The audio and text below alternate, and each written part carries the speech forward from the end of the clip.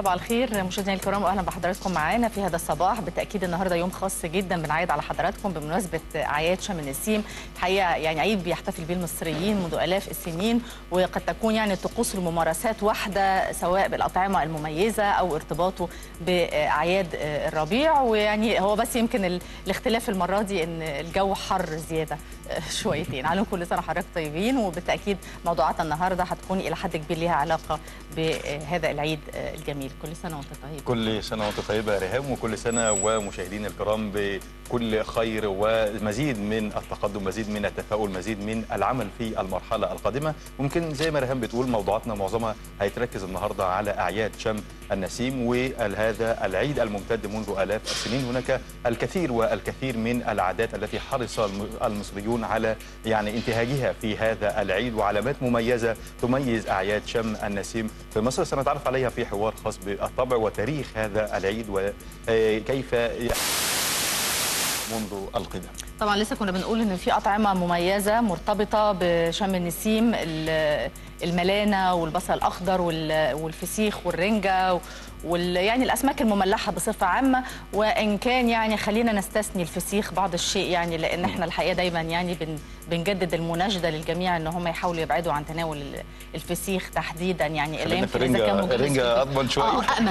امن شوية آمن. والحقيقة الموضوع المشكلة كمان إن هو مش ما بيكونش تسمم عادي يعني ده ممكن للأسف يعني يوصل إلى الوفاة. فطبعا ده كمان بيخلينا نشدد على أهمية إن لازم لما بيتم تجهيز هذه النوعية من الأطعمة وحفظها لازم تكون مطابقة للمواصفات الصحية والغذائية وهنحاول النهارده من خلال وقفة حوارية لينا إن إحنا نوفر روشتة للمواطنين ب إزاي يعرفوا الفاسد من غير الفاسد وإزاي فعلا يكون في طرق حفظ صحيحة. كيفية تجهيز الأسماك المملحة والوقاية من الأمراض في اعياد شم النسيم عنوان واحد من حواراتنا الرئيسية النهارده مع حضراتكم في هذا الصباح كمان ريهام بعيد عن أعياد شم النسيم عندنا موضوع اقتصاد المقام الأول وهو مؤتمرات لوزراء ورجال أعمال للتعريف بالكثير من المشروعات التي تمت على أرض الواقع في مصر وتسليط الضوء على هذه المشروعات.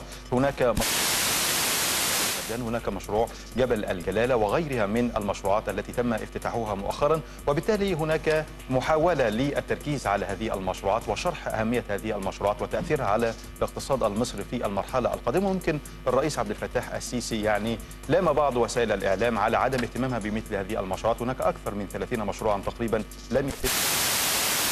هناك دعوة للاهتمام بهذه المشروعات وتوضيحها في المرحلة القادمة. طبعا في تطلعات كبيرة جدا وأدوار كبيرة معقودة على رجال أعمال ومنظمات المجتمع المدني وغيرها لإنجاح مثل هذه المشروعات. لكن ممكن نقول يعني أن في النهاية الإرادة السياسية بتصب في صميم هذا الهدف وبنشوف نواة لذلك وبالتأكيد هنشوف بناء على يعني هذه القاعدة في الفترة القريبة القادمة إن شاء الله. نرجع لشم النسيم تاني ودايما الحقيقة في جملة قسم مشترك دايما في كلامنا كل سنة بنقولها الناس بتخرج للحضارة الحدائق والمتنزهات. لكن طبعا يعني نصيحة برضو النهارده زي ما بنقول درجة الحرارة أفتكر مرتفعة فلازم يكون في برضو في مناسبة. آه يعني آه. لازم يبقى في كابات عشان الشمس لازم يبقى اختيار الأوقات نفسها كمان. طبعا. بلاش في اوقات الظهيرة اللي هي بتبقى فيها الشمس شديدة بالظبط. إحنا ننصح إن هم يحاولوا يخرجوا في الصباح الباكر قوي عشان يلحقوا يستمتعوا في الوقت اللي مش هتكون فيه الشمس حامية قوي. لازم يتشرب كميات مية كتير. إحنا مش عايزين بقى نحرق بقى الكلام اللي هيقوله خبراء التغذية والأحوال الجوية وكل الكلام ده لأن بالتأكيد دي هتكون متابعات لنا في هذا الصباح النهارده مع حضراتكم. وهتكون أيضا عناوين رئيسية من ضمن عناوين رئيسية لموضوعات أخرى مهمة في الصحف المصرية. صاحبة الجلالة أيضا هيكون لنا لقاء معاها النهارده في حوار مطول في هذا الصباح. كونوا معنا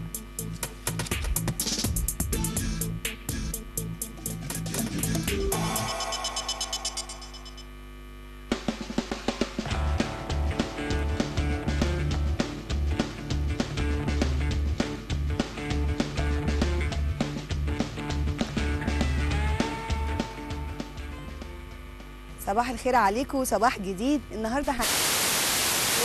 هنستخدم فيها سويس بول أو الكورة الكبيرة. عشان نشغل دراعاتنا نشغل الظهر نشغل نبتدي بس بعد الفاصل.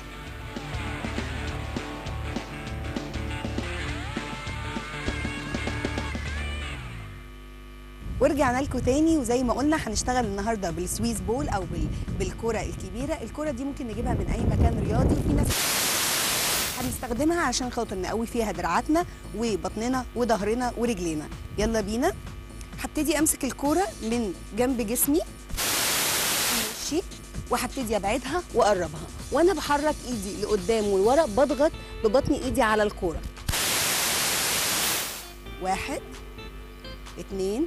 زي ما اتفقنا بنعمل التمرين من 10 ل 15 عدة. ثلاث مرات. هبتدي أرفع الكوره لفوق.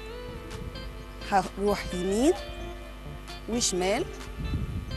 مع ضغطتي على الكوره بقوي بيها دراعاتي. هبتدي هنا برضو من قدام. هروح يمين وشمال. وفي نفس الوقت في كل لفة بضغط بإيدي على الكوره يمين وشمال. هبتدي. انزلها تحت واطلع فوق. وأنا بنزل تحت بتني ركبتي سكوات. بتني ركبتي كأني بقعد على كرسي وهطلع فوق. كده أنا مشغله مشغلة عضلات إيديا وظهري ورجلي. في نفس الوقت مع مقاومة. زي ما قلنا كل تمرين من 10 ل 15 عدة. وبنعيدهم تاني ثلاث مرات. التمرين اللي بعده هحط الكورة وهقعد عليها. للناس برضو اللي ما عندهاش بالانس ممكن وإحنا قاعدين على الكورة ورجليا 90 درجة يعني ما احطش رجليا تحت الكورة. اخد بالي ان رجلي تكون قدام وزاوية ابتدي امشي امسك الكورة من الجنب وامشي بيها لورا. ركبتي تكون 90 درجة هقوم بط الكرة بتساعدني كتير قوي في القوم ما بتقدرش تقوم ولأن هي بتكون مع المطاطية بتاعتها بتساعدني في الزقة بتاعتي وإن أنا أقدر أعمل عدات أكتر. تمارين البطن بنبتديها من أول 20 عدة. هنرجع تاني.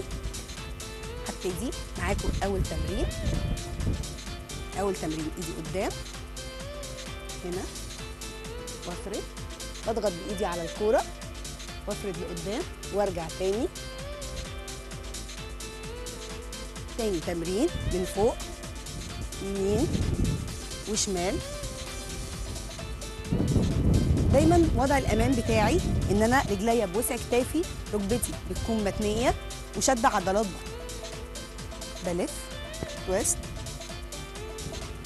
لازم ارجع تاني في النص زي ما اتفقنا. ودايما بضغط على الكورة. في كل لفة بضغط فيها على الكورة. عشان أقوي وأشد عضلات الدراعات. تالت تمرين. بنزل تحت واطلع فوق. بقعد سكوات ركبتي 90 درجة وظهري مفرود. وأنا طالعة بضغط على الكورة.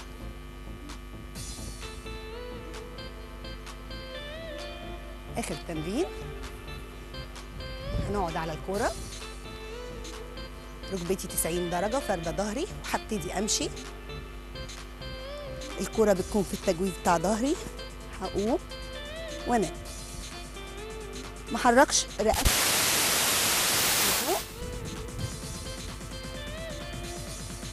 وأنام. كل التمرين زي ما اتفقنا من 10 ل 15 عدة ثلاث مرات. تمرين البطن هنزوده شوية ونخليه 20 عدة. وكل ما التمرين بيكون سهل كل ما بنزود العدات عشان بنتحسن. صباح الخير عليكم ونرجع تاني للست